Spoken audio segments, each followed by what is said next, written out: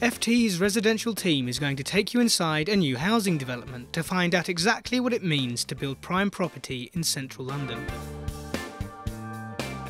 We've already looked at the planning, architecture and development aspects of the mansion apartment building in central London, but the incredible technical challenges of construction fell to another team. In this episode, we meet the structural engineer and the building consultant who helped turn the architect's renderings into reality.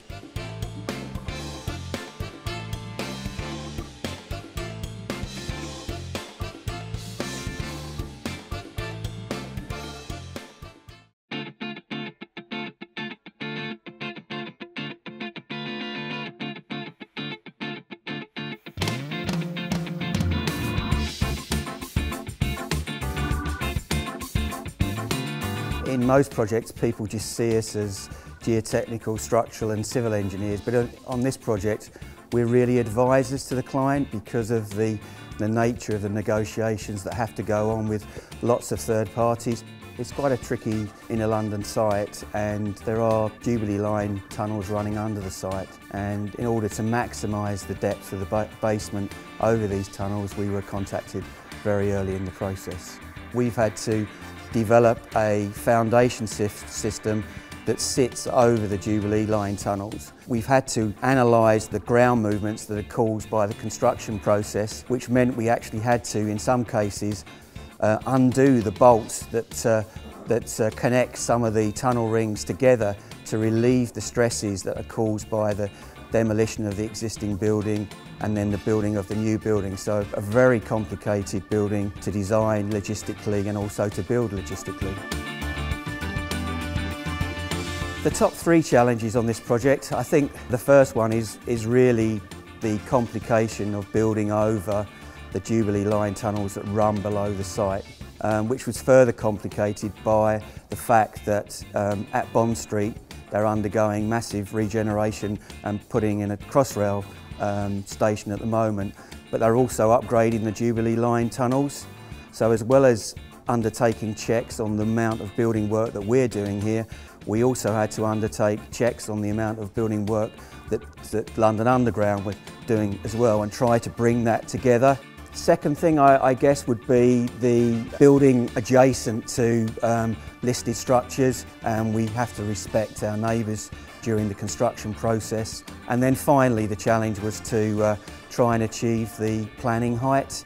We managed these challenges by having essentially a large team of around 10 people. Two were primarily involved with negotiations and liaison with London Underground, um, I would say for two or three years during the construction process.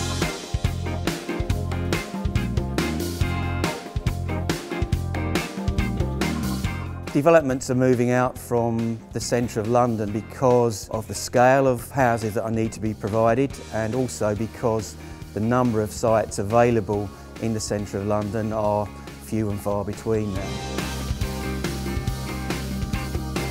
The recent trend with residential developers seems to be increasing the amount of amenity in the residential blocks, so increased amounts of spas, gyms, swimming pools and increased servicing, Also they were, had a kind of hospitality type components.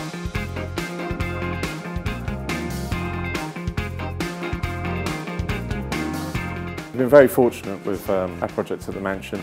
Um, it was procured pre-Brexit, so there hasn't been um, any recognisable impact of Brexit upon the development. Some of the challenges might be for the contractor and for some of the supply chain who uh, may still have to buy some materials, may still have to buy some labour, and so they might see some impact, but actually from the from the client and the developer's point of view, um, he's fairly safeguarded from that. In my experience, residential properties have been far easier to, to build. I think we can settle a design early, we can procure with a high level of cost certainty. With our hotel projects, there's a, there's a higher likelihood of design evolution during the course of the project, meaning it's very hard to manage control of cost and programme. I started in the industry over 30 years ago. I've spent most of my time, time working in central London and in that time I've seen a huge change. I mean we've seen projects like the Shard, uh, 22 Bishopsgate come along and these were projects that were not around 30 years ago.